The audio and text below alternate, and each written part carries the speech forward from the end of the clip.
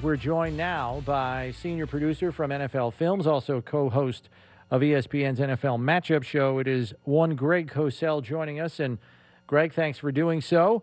And we want to begin right off the bat with probably the most interesting part of this game, which is the fact that you have a rookie making his first career road start in quarterback Davis Mills, who, in at least what I've seen of him, looks pretty poised for a wet behind the ears rookie.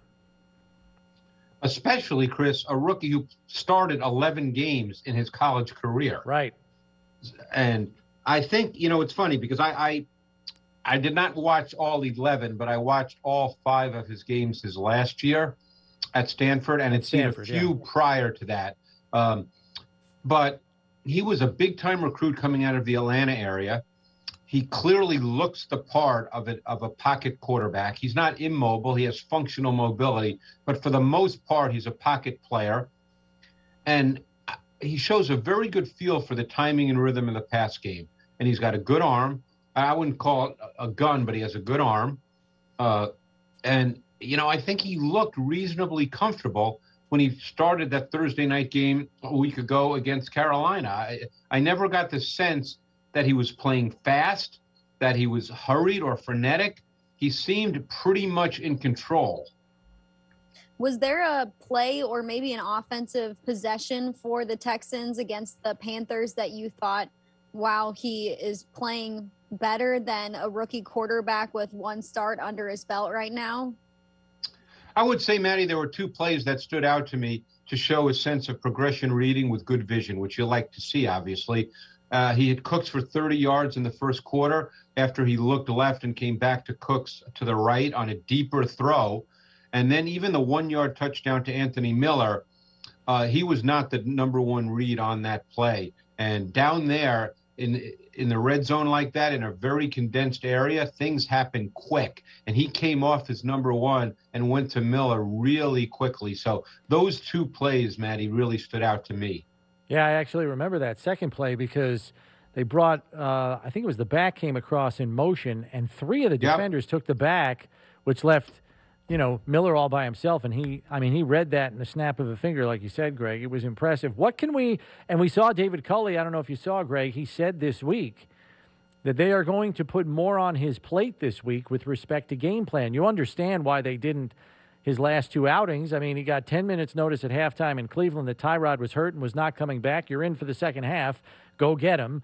And then after that, he prepared on a short week to play Thursday night, so they kept the game plan very vanilla. Now he's got 10 days of preparation. What do you think is reasonable to expect when you hear David Culley say, well, we're going to put more on his plate? Well, you know, none of us know what that means other than yeah. the fact that they'll go a little deeper into their playbook as far as passing game concepts.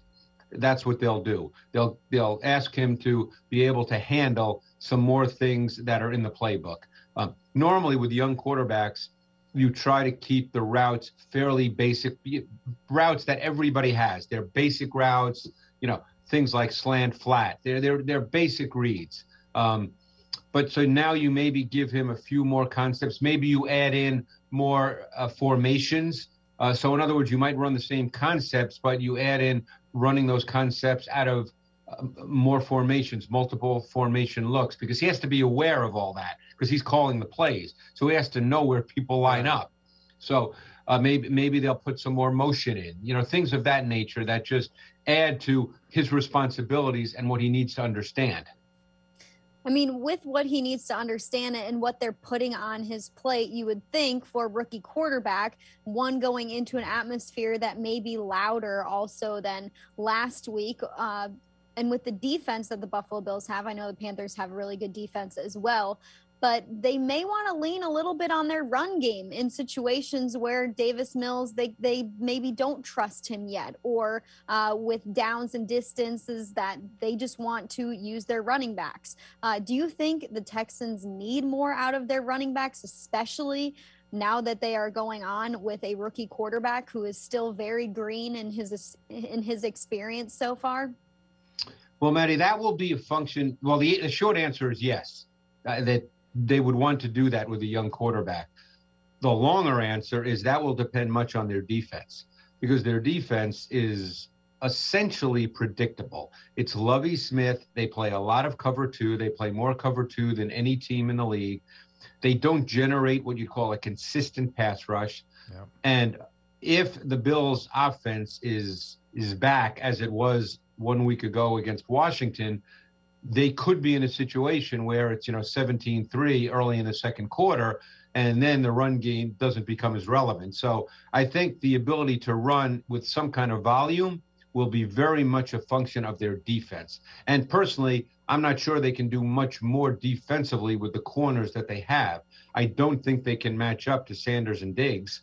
Um, and I'm not sure they match up to Beasley or McKenzie either. So I think you're going to see Lovie Smith stay pretty much with what he does and hope, hope that that means that the Bills have to try to go 12, 13 plays to score and maybe make a mistake. But the way the Bills play and the way Brian Daboll calls his pass game concepts, I don't think that'll be the case. I think throws will be there.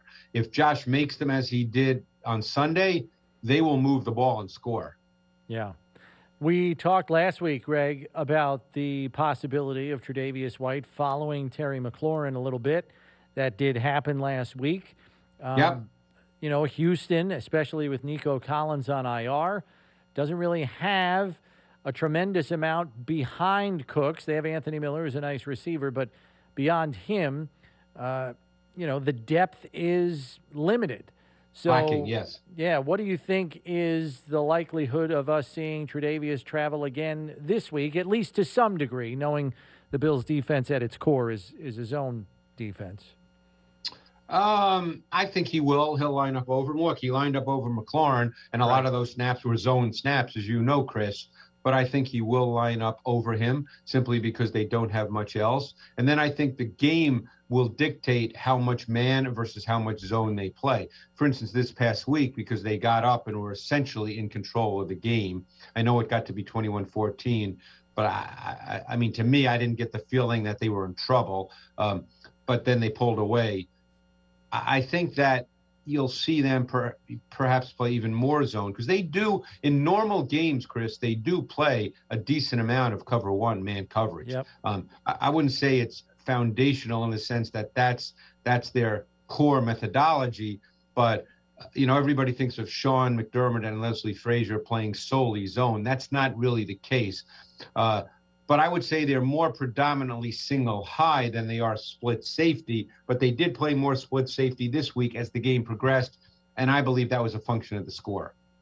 You said that you think the Bills have too many weapons, or you know, Emmanuel Sanders and Stefon Diggs is, is going to be a tough matchup for the Texans DBs. Well, one of their good players on defense is is Christian Kirksey. So, how do you think they're going to use his skills at, at the linebacker position to try and limit what this Buffalo Bills offense is capable of doing?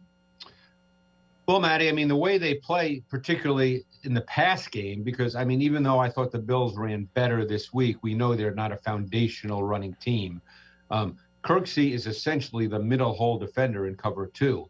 So, uh, and they don't play cover two obviously on every snap, and every team will play man at some point because there's always man down in distance situations like a third and two.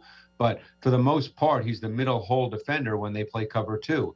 So normally, what happens with the middle hole defender in cover two is he will open up to what's considered the passing strength or the wide side of the field, and and more often than not, it's the same side. So he opens up to the wide side of the field. Um, you know, he's he's a good player. He's always been a solid player. I think he's been a good run defender. I think he's a smart player. Um, I, I, know we're looking at highlights of the run game right now with Carolina versus uh, Houston, uh, you know, last week, but this is not really what they're going to face versus uh, Buffalo. And like I said, Buffalo will run the ball somewhat. They're not going to not run it at all. But for the most part, they're going to have to defend the passing game. Going back to, to Buffalo's defense, Greg, they are going to be without Jordan Poyer, who is out yeah. with an ankle injury. Jaquan Johnson, a third year player, is widely expected to be his replacement in the lineup. How much do you anticipate that impacting the ability for those two guys to disguise pre snap and kind of fool Davis Mills, so to speak, knowing you have a new component in Jaquan Johnson? I think it'll be a factor, and it'll be interesting to see if, if Sean and Leslie do as much of that as they normally do, because those two safeties, particularly working together, are really, really good. Johnson was a player whose tape I watched coming out of Miami. I know he has not really played much in this league yeah, with Buffalo just because they have Poyer and Hyde. Um, I always thought he was an interesting player. I thought he was the kind of guy that if he was bigger, would have been a higher pick and maybe an NFL starter. I think he's got good traits. He's physical and aggressive. It's just that at his size, he's he's just not really big enough to play that way. Um, but I think you can play him for a week, a couple of weeks. Uh, my guess is he's probably a pretty smart player. That would be my guess. I don't know him, obviously, um, but I think we'll see. You know, obviously it's a normal week, not a, not a shorter or longer week. I don't. I wouldn't anticipate they do as much early, and then they'll see how the game progresses. Well, Greg, last week we were asking you about Josh Allen's mechanics and maybe what was going wrong the first two weeks for him. And then last week he he has a game that he had last year many times, passing for over 350 yep. Yards, uh, four passing touchdowns, one rushing touchdown for him. He was named the AFC Offensive Player of the Week as well. So got back to their old ways, put 43 points on the scoreboard. Why was that performance? Why was he able to have success against a Washington defense?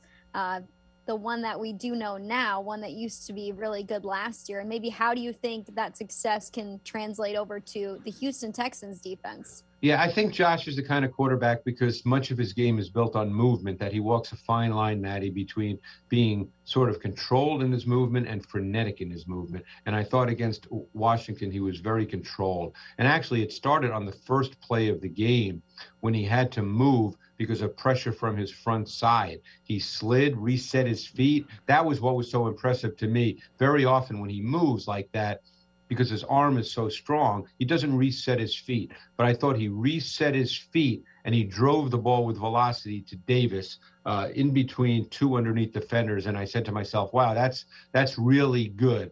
And then he played in a very controlled way the rest of the game. And even when he did move, and obviously he had to move a, a number of times. He just looked comfortable doing that. So I thought last week obviously was was as you said, Maddie, the Josh Allen of 2020 because you saw the pocket efficiency, you saw the second reaction playmaking. He was much more precise with his ball location. He really didn't miss throws last week. And, you know, taking that a step further on offense, Greg, we saw I mean, Dawson Knox has put together three pretty good weeks so far this season. He's yeah. never going to be in a situation where he's catching seven or eight balls a week like Travis Kelce. That's just not his role in this offense. But if he can be what he has been these first three weeks, he quickly becomes another concern for opposing defenses to at least think about, particularly in the red zone. And it's funny you say that because normally he's not really a primary in the way they structure their pass game. But that 14 yard TD, he was the primary, Chris. Yep. That was the that was your classic one by three set where the tight end is the single receiver. They got him matched up on Holcomb. That's where the ball was going. That was the play design. And that was a great back shoulder throw by Allen and a really good leaping catch by Knox. So, you know, again, I agree with you. You're not going to see him start to get eight to 10 targets a week, but there may be game situations where they view him as the primary. He's an athletic player. And even down in the red zone, where you just mentioned, he's made, he's caught some touchdowns where, you know, again, I believe he's the primary. This one I have no doubt about, the one from this week. Others, sometimes I question myself when I watch it, but they, they clearly look to him in the red zone. And kind of like Dawson Knox, another facet of this offense that is not going to be the part of the offense every single play, but it's our running backs, Zach Moss and, and Devin Singletary. How have they been deployed on offense, uh, and how has it resulted in success through the first three weeks of play here? Well, you know, I think they're starting to to do some things in the run game, Maddie. And again, they're never going to be a run first team. They're never going to be a 50 50 ratio of run and pass. But you saw them run the trap game last week. You saw them run what we call wham trap last week. Um, so they're starting to do more things. The other thing that I really like that they do is they featured a good mix of no huddle tempo throughout the game. And my sense is that Josh is very comfortable playing that style. So, you know, I think you're going to see the run game not become a volume run game, but become a selective run game in terms of, of how important it is. And if they can run with some kind of efficiency, as they did a week ago, then I think that that's what they want out of their run game. Uh, we also saw, you know, we talked about this last year a lot, Greg, the propensity for the Bills to throw on first down. I mean, they did more than anybody in the league last year. I think right now they're ranked second in the league behind only Tampa Bay. Um, play action, though, doesn't seem to have become as big a component of their offense through the first three weeks. They've done some of it. Uh, not a tremendous amount, and quite frankly, last week they didn't need to. Everything seemed to be working. So, so do you anticipate that it could, you know, reveal itself at some point within the scope of Brian Daboll's scheme, if you know, if the given opponent and matchup suits uh, his liking in that area? Yeah, I, I would expect to see a little more play action, and I'm and play action even with Josh under center. I think that that's where play action is its most effective, particularly if you do outside zone uh, run action, because that gets the defensive line moving laterally. And that's what you want. Instead of them rushing the passer vertically, they move laterally. So it would not surprise me to see them do more of that, but you're right. Uh, he has the second most dropbacks on first down behind Tom Brady. We know this is a passing team. So it's just a question of how do you get to your pass game on first down in normal down and distance situations, second and four. How do you want to get to your pass game? Uh, I think that the play action element will increase. And I think the no huddle tempo, as I mentioned, is something that you might see more of too as we go forward. Well, speaking of passing game, we'll move to another team in the NFL. Uh, one game that'll be very interesting uh, this week, and not because of the matchup, but it's because of who could or could not be playing at quarterback. It's the Chicago Bears. Ah. Uh, they said they're they're preparing for all three quarterbacks, or or they're going to run through all three depending on health. Who should start for the Bears this weekend? Well, Chris, you know, and Maddie, I'm thinking maybe Sid Luckman's going to start this weekend. Oh, what boy. do you think? Uh, how about I'd take Vince Evans over Sid? There you go. Well, you know, all I can do is speak to what I saw last week on tape. You know, we have no idea who's going to start. They probably know the answer to that. They're just not going to announce it. Um, look, they tried to help Fields last week. A lot of quick game. Uh, they tried to get the ball out of his hands. They tried to limit what he had to see and read. And you know, the thing is, young quarterbacks all develop at different speeds, different paces. And when a young quarterback struggles, it's not a surprise. It's it's not as if, oh my God, man, he didn't play great. You know, so at this point in time, Fields does not see things very well. He got locked in on reads. He played both at times too fast, other times too hesitantly. Um, I don't think right now he has an innate sense of what open means at the NFL level. He needs to learn that. But none of this is breaking news to me, guys, just because I've been watching tape for a lot of years. You know, this is not a, an indictment of Fields nor predictive of the future. So it's just what he is right now. And if if he were to continue to play, my guess is he'll get better. Yeah. As good as the Bills have been in scoring, uh, they're mirroring their average from last year, 31.3 a game. Cardinals are scoring more, and so too are the Rams.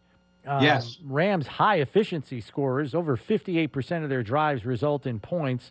And as we know, the Cardinals lead the league and they're second in total yards on offense. So, what has maybe impressed you the most about each of those two offenses because they look like they both have staying power going forward?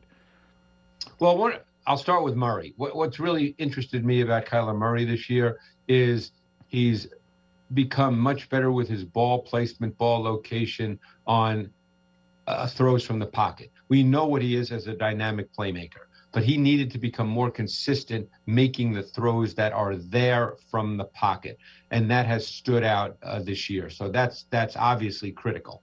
Um, this, as far as the Rams, one thing that's really stood out on tape is their increased use of empty sets and I think that's that's probably because of Stafford. Because what empty sets do is it gives you tendency predictability of coverage. And Stafford's been playing a long time. There's probably not much that he hasn't seen. So you you're giving him so much more information before the snap of the ball, and they're, they're a difficult team to match up to. Well, one game that I'll have an eye on, and I think other people will, is the Eagles Chiefs game. Not because of the fact that it might be the best matchup, but because of the fact that the Bills play the Chiefs here coming up in week five. And the Eagles have a decent running back in Miles Sanders. And if that's the key to beat the Chiefs, then the Bills have got to get their run game together for week five. But would you say that's the best chance that the Eagles have to beat the Chiefs is to to use Miles Sanders in, in ways that maybe they haven't before? Well, the haven't before part is true since its first carry last week came in their fourth possession. um, you know, I have I have some feelings about the Eagles' offense. You know, I always when I talk about this based on my point of view, I never want to rip coaches. I know how hard they work, but part of me thinks that they should line up Jalen Hurts under center, start their offense with the run game. Um, in some ways, the way the Cowboys did with Dak Prescott in his first year when they had Zeke, when they had a good old line, and the run game was the foundation, and you work the pass game concepts off of that.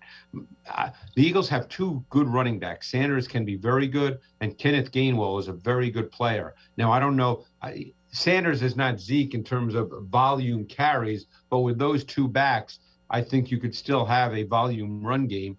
Uh, but I'm just, I'm curious, and and you know the other thing, the most surprising thing to me of Week Three in the league la- last week was how much man to man coverage the Chargers played against the Chiefs. The Eagles won't do that. They're a wholly zone based team. But the Chargers against the Chiefs played about 80% man coverage. And wow. most people would say you do not do that against the Chiefs. And they did it and they beat them. Pretty impressive. Um, Teddy Bridgewater looks like he's been a settling influence on yes. that Broncos offense. I mean, he might not be spectacular, but he's consistent. And I know because I'm ready for all the people to say, well, they've the three teams have a combined one victory, so that's why they're three and zero. Oh. But you can't blame the Broncos for who's on their schedule. So, what what do you see there? Because they've been without Jeudy in the lineup. Now they've lost Hamler. Do we expect this offense to stub its toe now a little bit based on the level of competition they're going to be facing going forward, which gets stiffer, and the fact that they're a little bit shorthanded now in terms of personnel? Well, they're a little in, in the way the game is played today, Chris. They'd be considered old school. They want to run the football. They've got two good backs in the rookie Williams and Melvin Gordon. They've got a very good defense. Vic Fangio is a savant. He's one of the best there is coaching defense in this league and has been doing it a long time. And they play with a quarterback that's efficient, does not turn the ball over, does not make mental mistakes, and every once in a while they create a shot play down the field based on the uh, anticipated coverage. So that's the way they're playing, and that fits what they have right now. That's not going to change. Now, I uh, they're not going to go 17 and 0, but I think they're a solid football team. Now, they could certainly lose any given week because they're not likely to put up 30, 35 just in the normal course of events. But I think they're really solid. I think they're well coached. They're efficient. And if you don't turn the ball over, and Bridgewater has never really been a guy who's turned it over, then you can live with the fact that he's not really a guy who's going to drive it down the field consistently. And on the flip side of that, I mean, the Broncos have an injured defense. So could this be a game where certain weapons on the Ravens have have a breakout game? Well, I guess we'll find out. I mean, they say Lamar Jackson's going to play, right? Isn't that pretty much what's being yeah, put out there? Yeah, practice today, right? Right. So I, I got to tell you, I think the Ravens coaching staff has done a really good job because I think they wanted to do this last year, but COVID prevented them. I think they've expanded some of the things they're doing in the pass game. I think they're helping Jackson a lot with more defined reads and throws.